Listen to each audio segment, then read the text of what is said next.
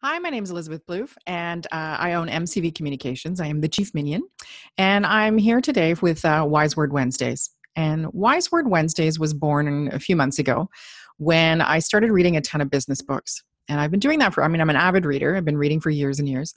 But business books came into being because I became an entrepreneur. And that took off in earnest in, uh, in 2014 and realized there was a lot, a lot that I didn't know and I didn't have time to go and meet everybody I needed to meet. I didn't have the money to meet everybody that I needed to meet, but I could benefit through their wise words and the ones that they share through their books. So I read a wide variety of, of authors. I don't have any particular favorite, I don't have an attachment. I'm not paid to do this. It's just something that I like to share because I know we're all watching our time and our money, and I want to give you a good value. Um, and make some recommendations so that hopefully they'll be helpful to you. So what I'm reading this week is one that I actually picked up from Value Village. With you know, if you're watching this anywhere from other than Southern Ontario, although I don't know how far they stretch, Value Village is a local thrift shop that sells a variety of things. But one of the things they have is a fantastic used book section. I've also got a local bookshop over here in Burlington that I go to, and she's got a terrific business section as well. I've got everything from John C. Maxwell to Gary Vaynerchuk to Chip and Dan Heath to yeah, I just picked up some great Kotter books, and this one in particular, ta-da, is Execution: The Discipline of Getting Things Done by Larry Bossidy and Ram Charan.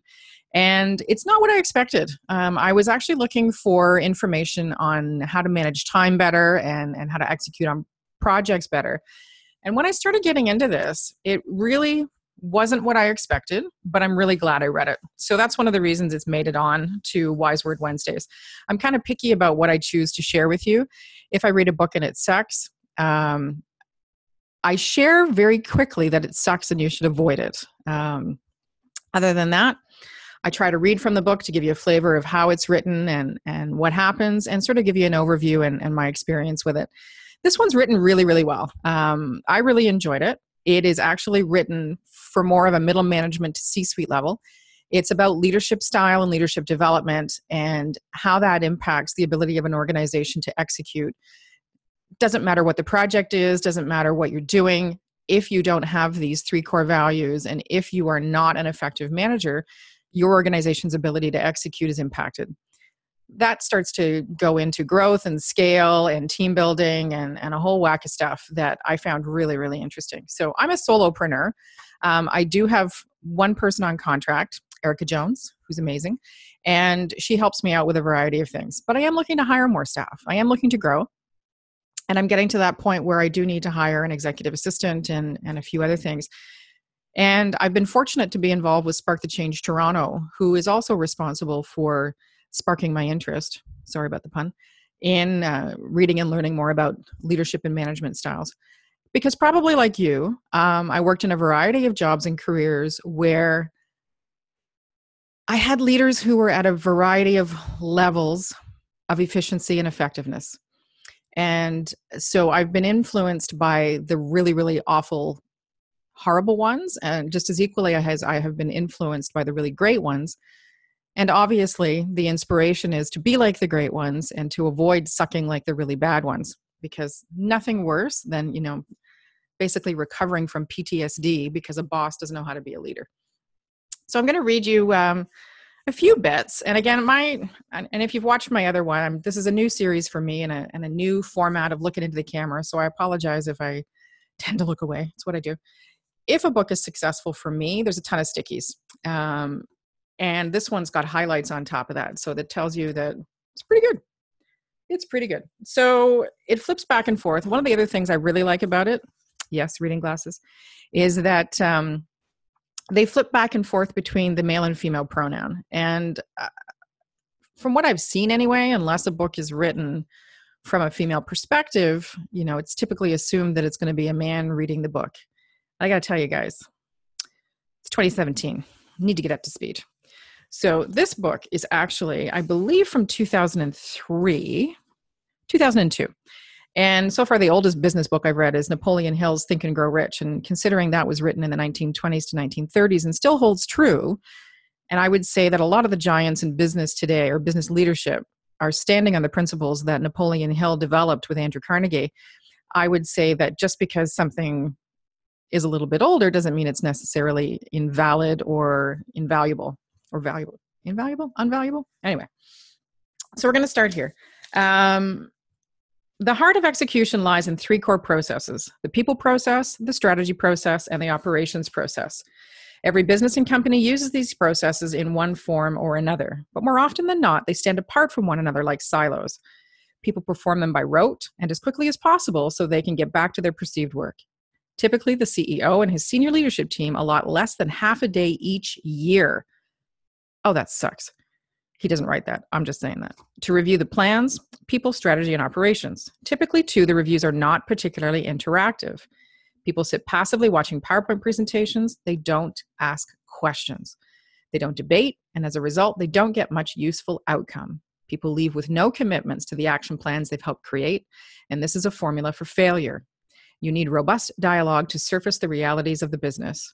That is a really powerful statement. You need robust dialogue to surface the realities of the business. You need accountability for results discussed openly and agreed to by those and responsible to get things done and reward the best performers. You need follow through to ensure the plans are on track. And surprisingly, I mean, this has been my beef with managers forever is that they some of the ones that I've had. Some have been amazing. My my um, manager at Girl Guides of Canada, Barb Ishibashi, was fantastic. Loved her to bits. There wasn't anything she would ask us to do that she wasn't willing to do herself. She gave very honest feedback. Um, one of the best things she ever said to me was, "I never have to find out about your mistakes from somebody else. You are always the first to come to me and and let me know you've made a mistake and how you've fixed it." And I took that feedback to heart and and have built on that and continue to do that. So if I make a mistake with a client, if I do whatever, they don't hear about it from anywhere else. I don't try and hide it. I don't try and muff it up. I am a leader of myself and of my organization, and I set the example that mistakes are okay, mistakes happen, own it, fix it, move on. And there is a um, a statement in here that I'll I'll find again. Leaders set the tone of the conversation for the organization that they're leading, and if you are closed off, if you are not open to constructive feedback, debate, discussion, what have you, your organization will crumble. It it it just will. And I have worked for people who are such ineffective leaders and so afraid to embrace the strengths of their staff, so afraid of their position. They're such unconfident people. I don't even know if that's a word, but it should be that they will not allow for any conversation or debate they will not allow for any opinion other than yes and and i don't do i don't do yes well not if i don't mean it. So here we see oh here it is. See i'm so smart. I have my sticky already here. Only the leader can set the tone of the dialogue in the organization. Dialogue is the core of culture and the basic unit of work. How people talk to each other absolutely determines how well the organization will function. Is the dialogue stilted, politicized, fragmented, and butt covering? I love, I love the fact that these really intelligent, high end CEO trainers and leaders are using the term butt covering. Or is it candid and reality based, raising the right questions, debating them, and finding realistic solutions? If it's the former, as it is in all too many companies, reality will never come to the surface. If it is to be the latter, the leader has to be on the playing field with his management team, practicing it consistently and forcefully. And one of the major things that Larry Bossidy talks about within this book is the fact that you need to get down on the ground with your people. You know, the, I, I recognize that there were the days of the glass ceiling, sorry, not the glass ceiling, but the glass corner office, and leaders do as I do, not as I say. And it just doesn't exist. You don't engender um, trust, you don't create trust, you don't create uh, a mutually beneficial conversation with your staff. And therefore, when things are going sideways, you'll be the last to know. You'll be the first fired because it comes down to you, but you'll be the last to know because you are not talking to the very people who are the ones in the know, who are the ones who can give you the feedback that you need to create a successful organization. And I really, really appreciated that in this book that um, some of these things that I've believed for many many years it's not just me being a crazy person it's it's actually good practice. It's good practice to have an open door. It's good practice to talk straight with people. Constructively don't be a jerk but welcome that feedback ask for it pursue it because regardless of how open your door is, regardless of how approachable you think you are, if you are the one in charge, it can be really hard for people to approach you. It can be really hard for people to start those, what are potentially perceived as, as difficult conversations. And so, by asking the hard questions first, and and putting it out there and bringing the realities to the surface you are showing that you are approaching your organization and your leadership role with eyes wide open and that you want to succeed and that you recognize that you've hired these valuable intelligent people to help you achieve just that. So he talks in chapter three here building block one the leader's seven essential behaviors. And this is probably where most of my stickies come from because once um, once it got past the strategy process and into the operations it's not really applicable to my business right now. I'm just I, which i know sounds odd um, so I, I took more out of this middle section of the book than i did through the rest of it. So glasses again. Sorry if you're listening to this on podcast. It's a it's a glasses kind of day. What exactly does a leader who's in charge of execution do? How does he keep from being a micromanager caught up in the details of running the business there are seven essential behaviors that form the first building block of execution. Know your people and your business. Insist on realism. Set clear goals and priorities. Follow through. Reward the doers. Expand people's capabilities and know yourself. And that's a, a, huge one. And I think that's one thing that I've really run into with ineffective leaders is that they're either not aware of how unapproachable and how ineffective and how dastardly they are or they just don't give a shit. I mean you know that's option b usually comes to the surface at some point. And we get to this part here and it talks about how you need to be um, aware of your strengths and weaknesses and how you need to to do this. And it says here a solid long-term leader has an ethical frame of reference that gives her the power and energy to carry out even the most difficult assignment. She never wavers from what she thinks is right this characteristic is beyond honesty or beyond integrity, beyond treating people with dignity. It's a business leadership ethic. And that's not to say that if you have a leader, I have to argue that point for just a second, because if you have a leader who believes they're right, and they're not, and yes, in their minds they're right, but what they want to do is not great. What they want to do is unethical. They still might believe they're right, but you should still have the opportunity to tell them so. And in one of my positions, I chose to do that um, I chose to debate the validity of the person's statement and and their perception of being right and what is right, and um, caused a problem. I have to say, that's why I'm an entrepreneur now. So I don't have to be a jerk or put up with them. So self mastery. When you know yourself, you can master yourself. You can keep your ego in check, take responsibility for your behavior, adapt to change, embrace new ideas, and adhere to your standards of integrity and honesty under all conditions. Self mastery is the key to true self confidence. So true. Self confident people contribute the most to dialogues. Their inner security gives them a methodology for dealing with the unknown and for linking it to the actions that need to be taken. They know they don't know everything. They are actively curious and encourage debate to bring up opposite views and set up the social ambience of learning from others. They can take risks and relish hiring people who are smarter than themselves. I have heard that and read that in so many places. I, I firmly believe in that. So when they encounter a problem, they don't have to whine, cast blame, or feel like victims. They know they'll be able to fix it.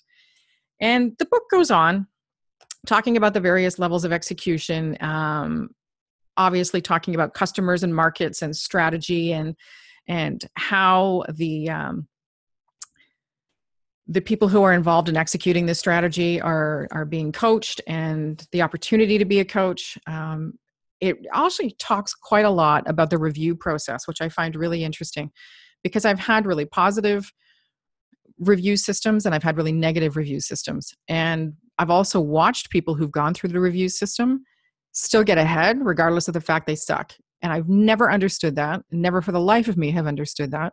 And I, as an employer and potentially a large employer, that's not going to happen. I'm absolutely going to sit down with somebody and do the review. And I am absolutely going to be talking to them constructively. But if you're sucking, we're going to talk about why you're sucking and what we can do to help you suck less. And, and he does talk about that in here, which is awesome. He talks about coaching and training and teaching and recognizing if somebody would do better in another position and, and all of those things. So, not blaming the person for failure within a position because he recognizes also, uh, Larry Bossidy within this book, that sometimes leaders make mistakes. And sometimes during an interview, what you think is going to be positive qualities within the position that you're hiring for actually turns out to be a negative, or the person has come across with false confidence or what have you. And he does re- he does recommend in here uh, which I can't find it right now, he does recommend asking some really unique questions in the review and assessment process during the interview to uncover some flaws that you might not otherwise see during the typical process. If I can find it, I'll put it in a blog post, but for right now, know that you should check out this book and see if you can figure it out from there. So, see, one of the things they say here in a good evaluation, the leader looks closely at how the people under review met their commitments which people delivered consistently, which ones were resourceful, enterprising, and creative in the face of adversity, who had easy wins and didn't push for better results, and who met their commitments at the expense of the organization's morale and long term performance. Nowhere is candid dialogue more important than in the people process. If people can't speak forthrightly in evaluating others, then the evaluation is worthless to the organization and to the person who needs the feedback.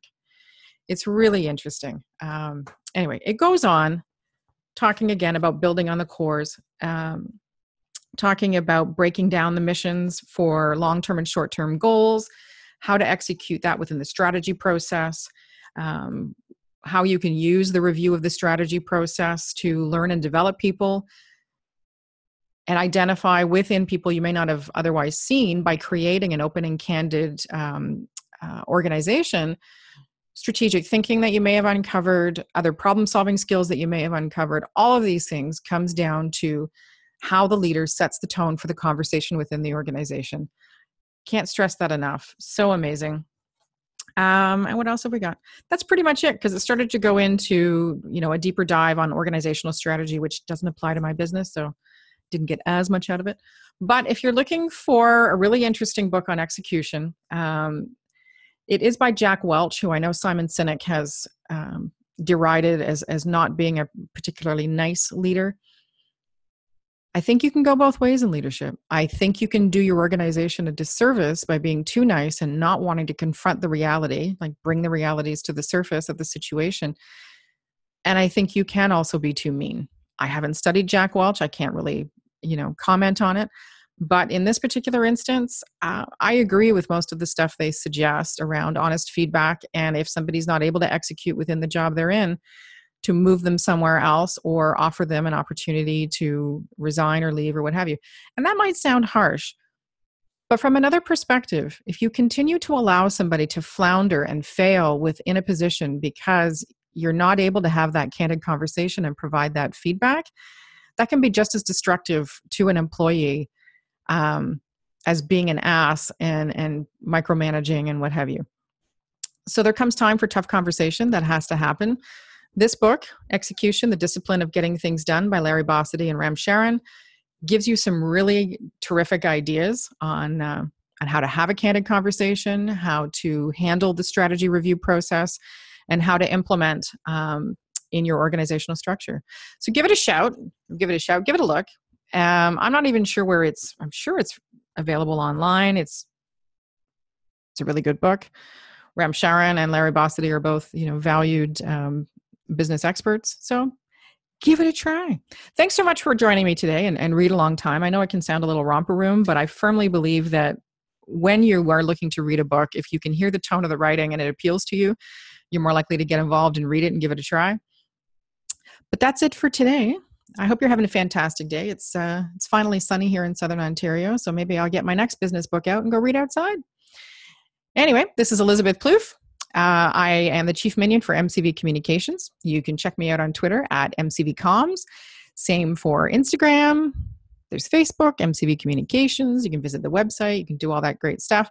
On the website, you can go and check it out and see um, I've got the rest of my reviews on there for business books. So if you're interested in in seeing what else I've talked about and learning more, I'm just going to make sure of what it's under because it's been a long time since I visited my own website. Isn't that sad? Um, fairly certain that it is under uh, Oh, look at that. If you spell communications wrong, you don't get the right thing. It's under Wise Words. And I've read a lot. Yeah. Under communications, go to Wise Word Library. There's about 20 different reviews of different books where you can get them on Amazon. Done some great ones. There's been some amazing books that I've been able to read um, from Elizabeth Berg, Scott Stratten, Dale Carnegie. Love Dale Carnegie. Just think he's awesome. Um, and uh, and take a listen. So have a fantastic day, everybody, and I will talk to you soon.